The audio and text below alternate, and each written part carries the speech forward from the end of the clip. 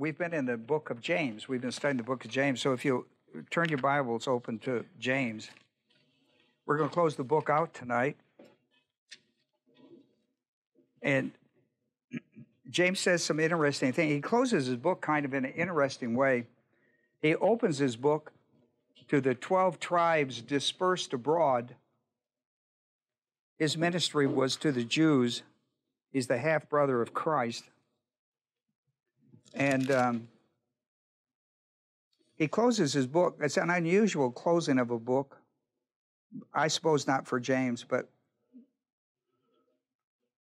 he's been an unusual writer anyhow. But here's what he writes in verse 19 and 20, and I'm going to pull an idea out of it and talk about it tonight. He says, My brethren, that's how he opened his book. And he, and he tells you who his brethren are the 12, 12 tribes of Israel dispersed abroad because of persecution and discipline. My brethren, if any among you strays from the truth, and one turns him back, let him know, the one who turns him back, let him know that he who turns a sinner from the error of his way will save his soul from death and will cover a multitude of sin. When we come back, I want to talk about well, who is a sinner? And who is a sinner? Well, it's obviously uh, for a lot of people, it is the one who commits a multitude of sin. At least that's what. and I guess we could all put our hand in the air, couldn't we? Multitude of sin. The, the, the secret is, is how do we get rid of that so it doesn't bury us? And we'll talk about that tonight. We're going to talk about the sinner, the multitude of sin, and how we get how we get out from under it. Like a, it's like a avalanche. You get a little on you. If you don't get it off from you, the whole lot gets on you. The first thing you know, you can't get out from under it. And so we're going to talk about that tonight out of this passage of Scripture. Let's have a word of prayer, and then we're going to get in our study. The Bible is a spiritual book for spiritual people, for spiritual living. As an unbeliever, you will not understand it spiritually. You will understand it in the natural mind, but you won't understand it in the spiritual realm. And so you don't read the Bible very much because it don't make a lot of sense to you. Paul talked about that in 1 Corinthians 2:14. But once you get born again through believing the gospel of Christ, the Holy Spirit takes up residence in your soul, in your body, and He illuminates the Word of God in your soul. And all of a sudden, you start reading the Bible, and it starts making sense to you. And that's quite a, revel- quite a revelation to a person. And uh, so the point is that if you are a believer, then you need to be under the ministry of the Holy Spirit who dwells in you. And he, he's able to teach you. John 14, 26 says he teaches and recalls what he teaches. And I love that because sometimes I can't think, well, what is it? What is it? Uh, I, I, I, know it. Uh, it's on the tip of my tongue. And he goes like, if it's on the tip of the tongue, I can get it out. that's recall. I can teach you and recall. So that's, that's a marvelous idea. And so what is evidence of carnality? Carnality is personal sin. How do you deal with personal sin? 1 John 1 9 says, confess it. Homologeo is a Greek word that means to name, cite, or come into agreement with God, that that's sin. And what do you do with it? He says you confess it because the blood of Christ took care of all sin, past, present, future. When you confess your sin as a believer, when you confess your sin, the Bible says, here's your promise. 1 John 1 9 says, if you confess your sin, that word if is a third class condition. It's volitional. Maybe you will, maybe you won't. But if you do, here's what he promises to do for you. He says, I will forgive you and I will cleanse you from all your sin and unrighteousness. Think about that.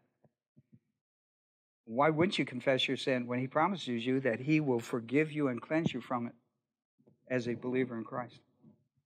So that's 1 John 1 9. I would encourage you to think about that I'd encourage you to do that before you start Bible study if you're a believer. By that I mean you believe that Jesus died for your sins, was buried, and on the third day raised from the dead. It's not just that Jesus died for your sins, because three guys died for sin that day. Right? It's the guy that got raised on the third day became the savior of mankind. And it wasn't just that he died, he died and was raised from the dead on third day. And if you believe that, you get saved. And if you don't believe it, then you stay, you remain unsaved, which is not a good place to be, especially if you die. So let's let's bow our heads and shut our eyes and take a moment to reflect. Christ came into the world to save sinners. How does he save them? They acknowledge they're a sinner to him. Huh? I'm a sinner. How do you know it? Because I sin. What do I do? Believe that Christ died for my sins, was buried, and raised from the dead third day. When I believe it, I'm saved. When I'm saved, the Bible becomes a kind of an important book. Our Heavenly Father, we're thankful today for these that have come our way to study with us. And tonight we talk about who is a sinner and how does that status change in his life. Very important. Very important to all of us. And so I pray the Holy Spirit would minister the truth to our souls in Jesus' name. Amen. One of the one of the problems you have when you look at James 5, 19 and 20, one of the problems you have is James talking to believers about believers, or is James talking to believers about unbelievers? I mean, is, is James saying, My brethren, if any one of you stray from the truth and one turns him back, let him know, let the one who's turning people back, let him know that he who turns sinners from the error of his way saves souls and covers a multitude of sin. Is he saying in this passage to believers, you need to be ambassadors for Christ and you need to share the gospel of Christ with other people because through the gospel, people's souls are saved and multitude of sins are dealt with properly. Or, or is James referring to sinners here in a pharisaical way? Is he talking about believers who are considered still to be sinners? So, there's controversy over these passages of what James is talking about. So rather than try to figure out what James is talking about, because I've studied the whole book and I don't know what he means by that at the end of the book. You understand that? Because it's controversial. I'd rather take you today and tell you what Jesus says. How about that? We don't we don't have to sweat about this passage of scriptures. I personally have a view of what James is saying here about saving the soul. And when you save a soul, you cover a multitude of sins. And that's the way I view this passage. But I'm telling you, not all people view it that way. So I'm telling you, but so why not just go to the man himself? What did Jesus say about it? Okay? So I'm what I'm going to do today, I'm going to show you what Jesus says about the sinner. What did he say? So, in my first passage, I want you to go with me to Luke. We'll see what Jesus says because that would be sufficient for me. Uh, let's see what the man said himself in Luke 5. In Luke 5, and I, I've got this on your paper, but in Luke 5, this subject comes up in, in Luke 5, 27 through 32. And this occurs, the man that is talked about here is Levi in verse 27, 527. And after he went out and noticed a tax collector named Levi. Now let me tell you who Levi is in real in real lifetime in the New Testament. He's Matthew that became a disciple of Christ. Matthew, you know, Matthew, Mark, Luke, and John. This is Matthew. How do you know that, Ron? Because it doesn't say it. Because it's mentioned, this same story is mentioned in Matthew 9, 9 through 13. And he's called Matthew. It's the same story. He was called Levi, and this is and this is when Jesus called Matthew to become his disciple. This is just Luke's account. And after he had went out, he noticed a tax collector named Levi sitting in the tax office. He was collecting taxes for Rome from Jewish people. That's why the Jews didn't like him. they didn't like him at all. And Jesus said to Matthew, Follow me. You remember that's a kind of a, a typical saying that Jesus did with all the disciples. He said it with all the disciples. You know, he'd come along and say, Come follow me. And they would leave their nets and follow him or their business. They just left their business and followed him. And that's the calling of Matthew. But I want you to see the bigger story in his calling because Luke goes into much more detail. And he, Matthew or Levi, left everything behind and rose and began to follow him. Levi, he's, he's wealthy. Levi, wealthy. The tax collectors were wealthy. Rome paid him well. And he left everything behind. And Levi, verse 29, watches, gave a big party. Levi threw a big party. Apparently, everybody knew that this guy threw good parties because everybody's going to show up. Everybody's going to show up. Levi's showing a party. That word went through the street. Everybody went to his party. Levi gave a big reception uh, for him, for Jesus, in his house, gave a big party for him. And great crowds of tax gatherers and other people who were reclining at the table with them. And the Pharisees and their scribes began grumbling at his disciples, saying, Why do you eat and drink with tax collectors and sinners? I want you to show you something now.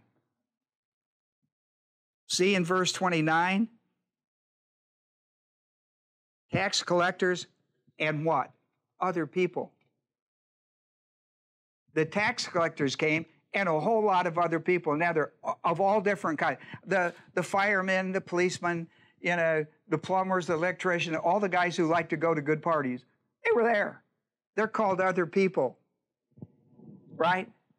All different all different walks of life business wise. But watch how the Pharisees describe them. Watch, look at their prejudice about it. Why do you eat and drink with the tax collectors and sinners? Look how they described everybody else. Everybody there, the electricians, the plumbers, mom and pop shop down the street, whatever it was, all the other people that knew Levi through great parties went. But because he was a tax collector and in the Pharisees' mind, a sinner, everybody who went to the party was. What was called other people in, attendance, other than just the close friends of the tax, tax collecting buddies, they called sinners. they called them sinners. Now, they called them, you know, they would have never called themselves that. They called everybody else that. Now, in verse 31, Jesus gives them a common sense. Because verse 30 is prejudiced at the core. Would you call that prejudice? Of course it is. It's prejudice at the core, man. In verse 31, Jesus answered and said to them, Here's a common sense. He uses common sense to go like, What are you guys talking about? Common sense. Listen what he says. It is not those who are well who need a physician, a doctor, but those who are sick. Mean, nobody goes to the doctor when they're feeling well, right? Unless he's a hypochondriac. Right? The physician's job or calling in life is to help the sick. So it's a common sense principle. He says, he says to him, I have not come to call the righteous, but the sinner to repentance. This party was thrown for Jesus, but everybody came because they knew Levi threw a good party. Now, verse 33. They said to him,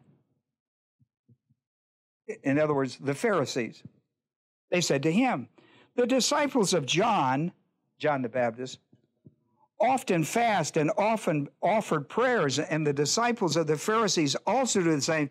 But your disciples, they eat and drink.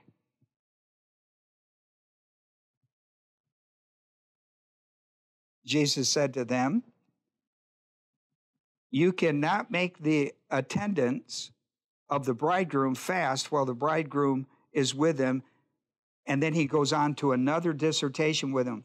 I want to stop up there at verse 32 before we get into another uh, uh, another conflict with these people, right? I just want to show you something. Now watch.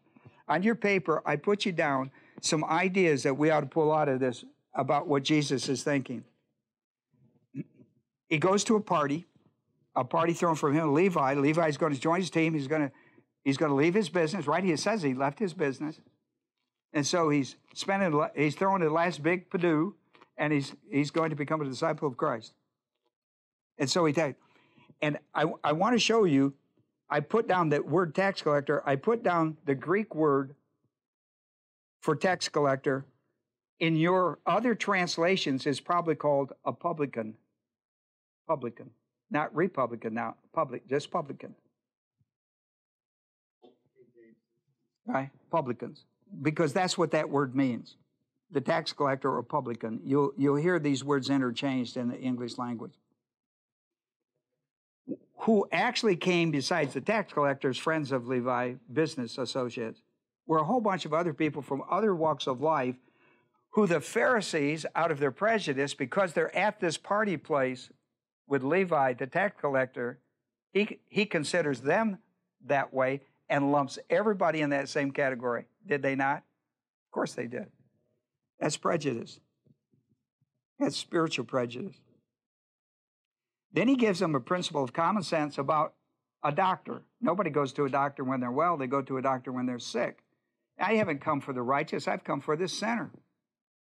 Jesus Christ didn't come to this world for the righteous people, he came for the sinner. So here's the point until you know you're a sinner, you have no reason to be saved. When I was a sinner and didn't know I was a sinner, I certainly had no reason to be saved. It wasn't only until I realized I was a sinner that I realized I had a need to be saved. Now, think about that. So, how does a person come to realize he's a sinner? See, that's really interesting. How does it how does it happen? Well, at this party, a whole bunch of people, I'll tell you one person already realized it was Matthew. Matthew already realized it, was saved, and was leaving his successful business to become a preacher, a street preacher. He left his whole business. He was a wealthy man and left his whole business to be a street preacher because that's what Jesus was. You do know that. He's a street preacher. Now, Jesus states why his why he came to the world, why he came to the earth. He states why he came to, into the world. Listen to what he said. He states his purpose in coming into the world. He said, I have not come. No, notice that's a negative. I'm going to tell you what I didn't come for, and I'm going to tell you what I did come for. Listen what he said he didn't come for. I didn't come for the righteous. I didn't come for the person that doesn't, doesn't have a need to be saved because he's saved. I didn't come for the person who's not righteous,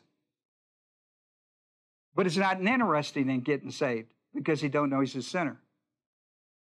He said, I'll tell you who I came for. I came for the person, man, woman, child, who comes to realize they are a sinner That's who I came for.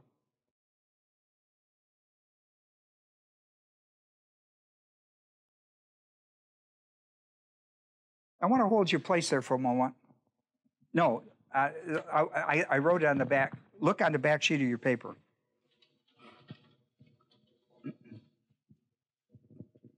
At the very bottom, I've got one, two, three, four. I got four, four statements in bold print. Do you see that? I want you to go I want you to go to the third one, right now. I want you to go to the third one right now. And listen to what Paul wrote. Paul, the Apostle Paul. It is a trustworthy statement deserving full acceptance that Jesus Christ came into the world to save sinners, among whom I'm foremost of all. King James calls him the chief. He said he said he was the chief sinner. Probably a lot of us would question that. So, well, I don't know. What did you do? And then I'll compare it. I'll tell you what I did, and we'll see who. The point is that he felt not only when he came to know compare now how do you compare yourself to what you compare yourself to christ christ says look i came well why could you come into the world to save me because i was not a sinner i was born outside the slave market of sin i was born outside of where everybody else is born now listen to me this is important every human being is born in that circle, and there's another circle over here. Everybody is born in Adam. Here's Adam's circle. Everybody is born in that. When he's born in Adam, Romans 5:12. Wherefore by one man sin entered the world, and death by sin, and so death spread upon all men, for all have sinned. Then Romans 3:25. All have fallen short of the glory of God. The glory of God is Christ. On the back part of your paper, look at this. The second one in bold print down, second one in bold print, watch this. But God demonstrated his love towards us in that while we were yet sinners, Christ died for us.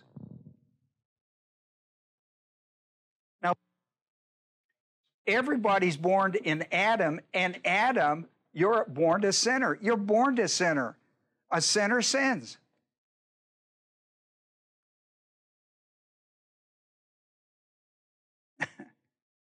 He, he's, he's not a ner, he's a sinner. A sinner sins. That's what he does. That's why he's called that. Everybody, everybody is born there in Adam. Everybody. Look, watch this now. Go back to that back page and look at the very first one. Bold print. Look at the very first one. For through one man, Adam, through one man, Adam's disobedience, many were made what? Huh? What were they made? They were made sinners. Listen, and what's the one man? Adam. You're born physically into this world as a sinner. Of course you sin. That's what sinners do. Listen to me at birth in Adam, Adam's sin, that's, that's Genesis 2.17, don't eat of the tree, the day you eat, you will die.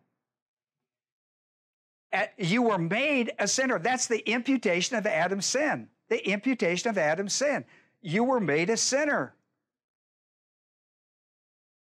I didn't make it up. Look at it again. Through one man's disobedience, he's talking about Adam, many were made sinners. You were made a sinner. That's an that, listen, and this word made in the Greek language means appointed to a position. It means you were put in a you were appointed into a position and that position now has status. There are 13 judicial charges in Adam's sin that every sinner, every person is under. Every person is born this way. The reason you're a human being is that you were born in Adam, who was the father of the humanity of man. Well, look. 1 Corinthians 15 22. In Adam all die, in Christ all are made alive. What does this passage here say? Listen to this. All are made sinners, even so, through the obedience of one Christ, many will be made righteous. The impu- imputation of God's righteousness in Christ, here is in Christ, how do I get from here to here? See, that's the question. How do I get from being a sinner to becoming a saint? Because every person in Christ is positionally a saint. Not because he lives that way, but because he got saved that way. How do I get from this circle to this circle? Jesus Christ dies on the cross to take care of this one. He's buried and raised from the dead. That's called the gospel. That is the gospel of 1 Corinthians 15, 3 and 4. Romans 1:16, when you believe it, the gospel is the power of God to save everyone who believes. You don't save yourself. You don't turn from this. You can't get out of that. You're under th- you can't get out. Nicodemus couldn't get out of it, and he was a righteous, he was a do-gooder, righteous guy full of religion. Nicodemus, John the third chapter, John 3:16 was given to that man. Paul was a, a top, a top-notch Jewish theologian who was not saved. He just told you that. How do I get from there to there? Colossians 1.13. There's two, I want you to turn to that. Turn to, turn to that and see it. I'll show it to you. Here's Colossians. And here's how it works. It's not brain surgery, but it is regeneration. It is redemption. Here's 113. It says that the gospel, Christ on the cross, burial and raised, it says in, in Colossians 1.13, either the word rescue or delivered, for he delivered us or rescued us from the domain of darkness. That's here. This is called darkness. This is the domain of darkness. One of the 13 judicial charges on every human being. You're spiritually dead, you're spiritually blind, you're spiritually dead, yada, yada, yada. All right? Now watch this. He delivers us from the domain of darkness and transfers. Watch. We are rescued from here. The moment you believe the gospel of Jesus Christ, you are delivered from Adam, uh, in Adam. Listen, now watch, and transferred into Christ. Colossians 1:13, he, Jesus Christ, delivers us from the domain of darkness and transfers us into the kingdom, the kingdom of his beloved Son. You know what that's called? That's called grace. That's Ephesians 2 8 and 9. For by grace are you saved through faith, and not of yourself. It is a gift of God, not of works, self works, least any man should boast. When you get saved, all the boasting goes to the one who died on the cross, was buried, and raised the dead to, to deliver you and to transfer you. And that's grace. And you're not saved any other way, dear heart. You are not saved any other way. And you ought to be thankful for that. You ought to be thankful for that. So, Jesus said, I'm going to tell you what he said again. He said, I have come into the world to save sinners. That's how I've come. Now I want to show you another passage. If you would go with me to Luke. Let's go to Luke, the seventh chapter.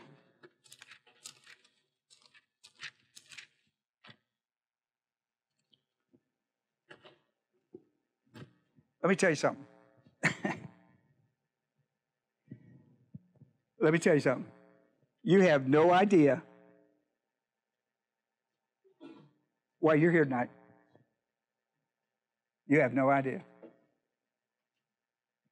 You think it's an honor of Claudia, and I'll take that. But you know, the truth of the matter is, you're here because Claudia prayed you in tonight. You're here because she prayed you in. I had no idea you were going to be here, and I didn't build a sermon thinking you were coming. I don't do that. But here we are. We are where the rubber hits the pavement, aren't we?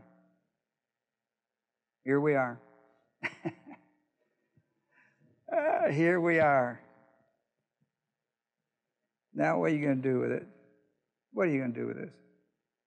What are you going to do with it? What are you going to do with this?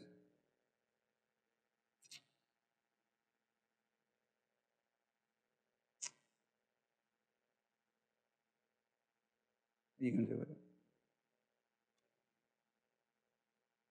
And I've sat where you sat. I've sat where you sat.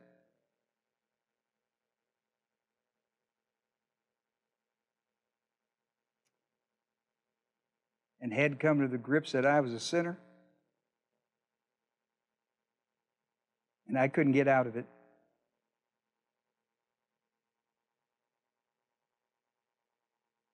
Now, some of you aren't sick enough of it to walk away from it. And some of you are. I became like the prodigal son. I got stuck in a pig pen of life that was sucking the life right out of me. And I was sick of it. I was sick of it.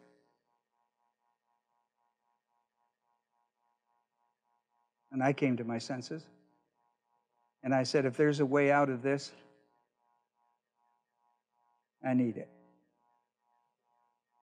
And the way out for me, and the way out for Paul, and the way out for every other human being that's ever come this way is the gospel of Jesus Christ. If you think there's another way, there isn't.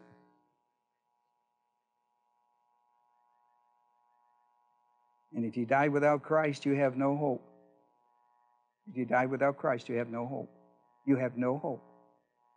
And if you think there's nothing beyond this life, you've made the biggest foolish mistake of your mind you could ever make because there's certainly life after death. I mean, where did life come from if it's not going somewhere? And none of us smart enough to answer that.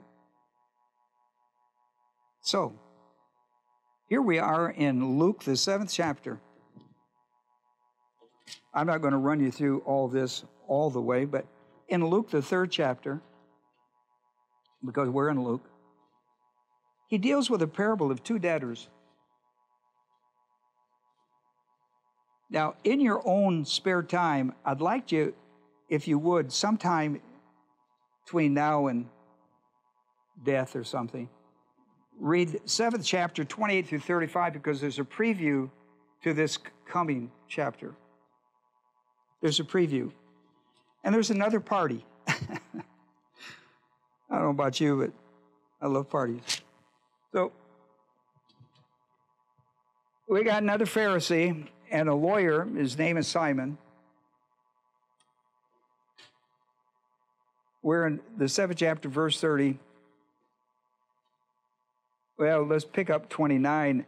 And when all the people and the tax collectors, there they go again. You probably would have liked these tax collectors, even though they took your money. They threw some more kind of parties.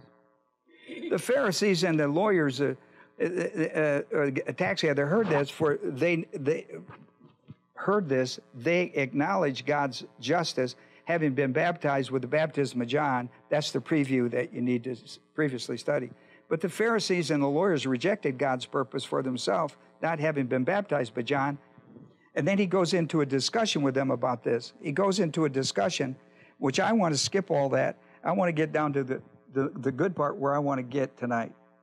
A lady comes in, in this party, a lady comes in in verse 31. Uh, and she anoints, she, she, she comes in and, and anoints him with oil Verse 36 One of the Pharisees was requesting him to dine with him. He entered the Pharisee's house and reclined at the table. And behold, there was a woman in the city who was a sinner. and, and who would have called her that? No matter what she did. She could have been a beautician, she could have been a lawyer, but who would have called her a sinner? yeah, they sure would have. Yep. And when she learned that he was reclining at, and listen, they would have called her a sinner be, be, not because she, she was in Adam, but because of her behavior that they disapproved of. They're prejudiced against her. I mean, it didn't matter what she did. She could have been a lawyer.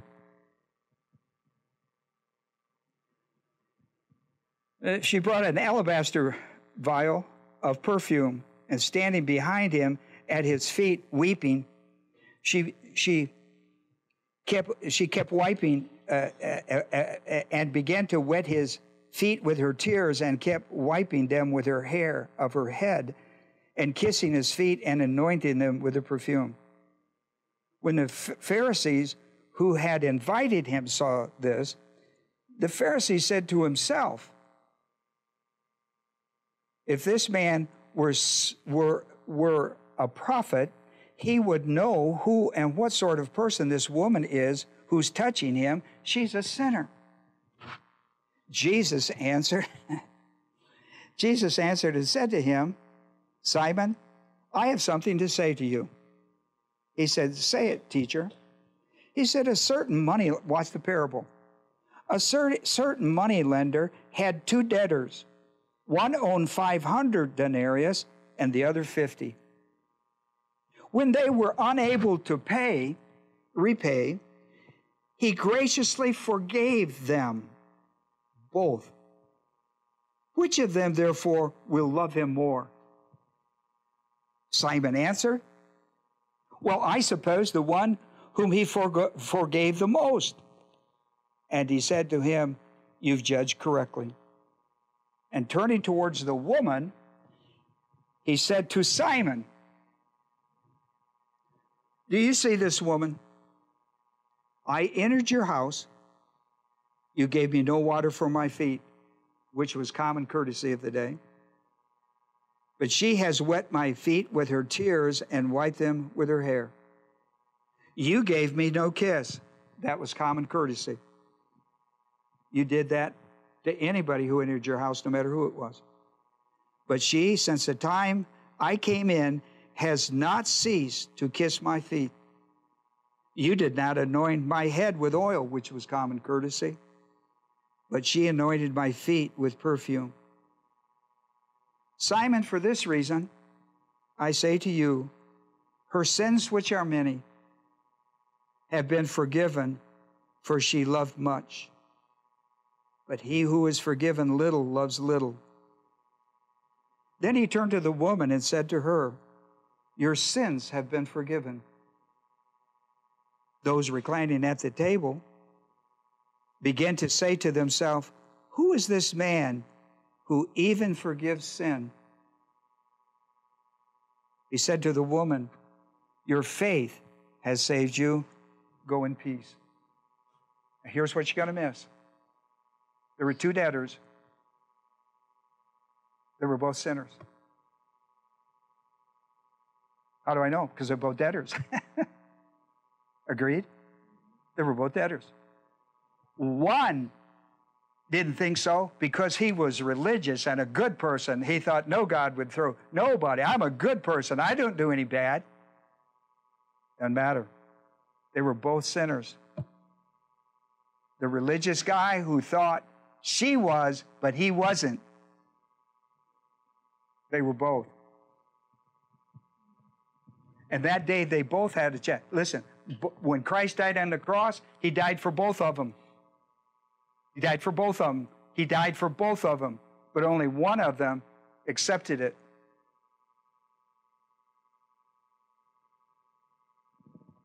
He paid both of their debts, but only one accepted it.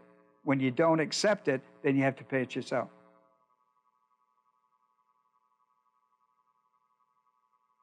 That's where the rubber hits pavement. Do you think you're going to get out of this life without it? You can. You can get out of this life without ever, ever believing this story, without ever believing the gospel of Jesus Christ. But you can't get out of the next life. Not going to get out of the next one. It's appointed unto men to wants to die in the judgment. You're not going to get out of the next one. So why wouldn't you get saved? What do you think you have to do to be saved? What do you think you have to do? What do you think you have to change in order to be saved? Listen to me. Listen to me closely. Nothing. Not one thing. You're saved by grace through faith and not of yourself. Not one thing. Don't let the devil lie to you. Not one thing. Christ has paid it all so that you can have it all by grace. In our story, only one went home justified by God's grace. Did you know that? It wasn't the Pharisee called Simon. It was the woman everybody called the sinner. She went home justified. One debtor went home. One debtor went home justified with their sins paid for. Agreed? You know who that one was? The one who acknowledged she was a sinner in need of salvation and found it in a person called Jesus Christ. I'm not talking about religion. I'm not talking about anything like that. I'm talking about salvation, man. That's what I'm talking about. Now look. I got more and you can't take it. So look. There's no sense me beat beating a dead horse.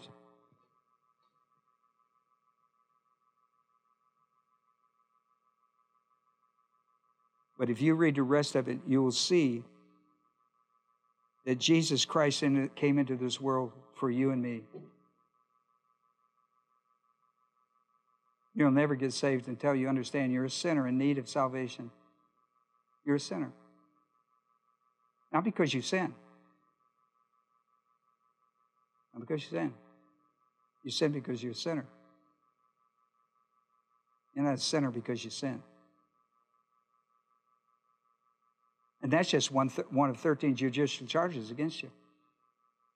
Not because you've done anything, because you've been born in Adam. How do I know it? Because you're human. Are, are you human? I mean, dog, cat, pony. Oh, you're human. You've been made in the image according to the likeness of God. You need to be born again. You need to be born again. You will hear this message again. If it, if it rubs you raw now, you're going to hear this again in eternity at the judgment seat. Great white throne judgment. You're going to hear this sermon again, and you're not going to have the opportunity to believe it. Now, I'm not going to ask you to do it tonight. That's up to you when you want to do it. You got to do it. I had a good friend of mine that did it after a serious automobile accident and survived it. And he couldn't sleep unless he got a good hot bath, and so he got up one night about three o'clock in the morning, got a good hot sleep, got got a good hot bath, and laying in the tub, realized he was a sinner in need of salvation. It was just as simple as him understanding that Christ has wor- his blood washed away his sin like the water washed away his dirt, made him feel better. And right there in the bathtub, he said, I want to believe I believe that Christ died for my sins, was buried, dead. I want to be saved. He got up and he called me. Pastor does not like to hear a call at 4 o'clock in the morning. They're never good. And everybody was hollering and hooting on the other end of the line. And I said, What's going on? He said, His, his name was Wormy. That was a nickname because he was a pipeline guy. He said, It's wormy. I said, and he was known to party. He was known to party. And I said to him, Why are you calling me at four o'clock in the morning, my buddy? And he said, Because I just got saved. I said, Well, how in the world did you get saved? And he told me about being in the bathtub. That's the first bathtub conversion I ever heard of. But I thank God for it. Now, my people have heard this story before. I called my deacons because we had him on our prayer list. I called my deacons at 4:30 in the morning. Deacons don't like to have their pastor call them at 4:30 in the morning. I can tell you that. And I told them that Wormy got saved. And they said, "Well, I'm going over to see," but nobody could believe it. Well, they and so I said, Yeah, I am too. I'm going over. And so we all went over. It's like five o'clock. His, his wife, Nancy, began putting eggs on the stove. Because people, we were farm people, and people were going to work. And I'm telling you, we celebrated that house rocked until about 8, 8.30. I mean, everybody in the community came by. Everybody stopped on the way to work. Got some eggs and bacon and, and could not believe it. Marlon, that was his true name. Old Wormy got saved. Sure got saved, Andy, baby. I mean, he sure got saved. And you know, I wish it for all of you. It's the greatest thing that ever occurred in my life. I came out of atheism to Christ. I was the hardest person you could ever talk to in the world about Christ. And I'm going to tell you, it's the real deal. If it wasn't a real deal, I wouldn't lie to you. I'm telling you, it, it dramatically changed my life.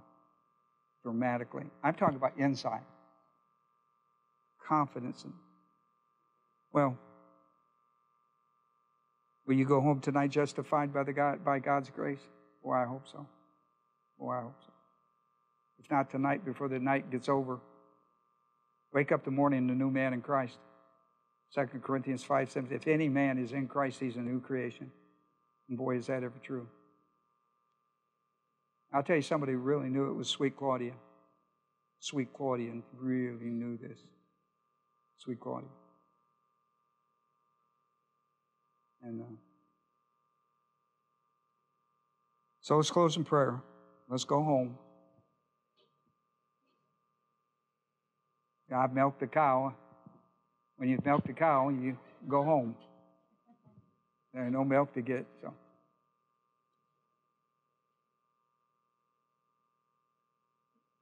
Every head bowed, every eye closed. Listen, you can you can settle this right now. You know, it's between you and the Lord. It's not between me and you. I've done mine. I mean, I, I brought the message. I'm just a messenger. Listen, you need to get this clear.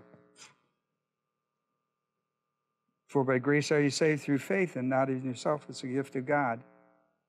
What do I must believe? I must believe that Christ died for my sins, was buried, and raised from the dead the third day.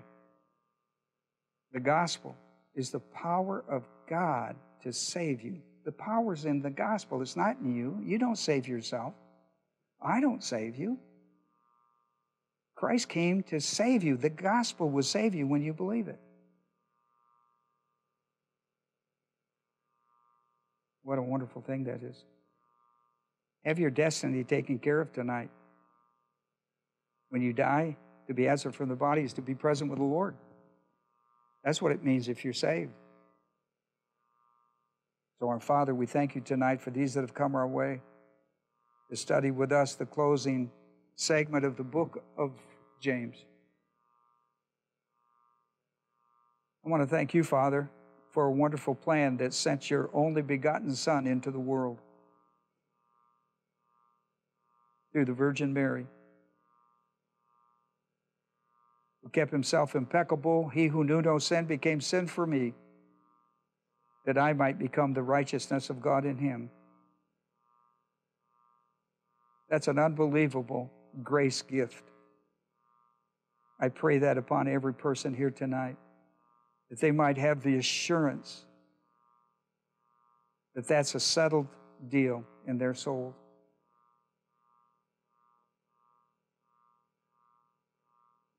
The status of sinner can be changed to saint because of the grace of God. Well, thank you for Claudia with her stay with us and Tony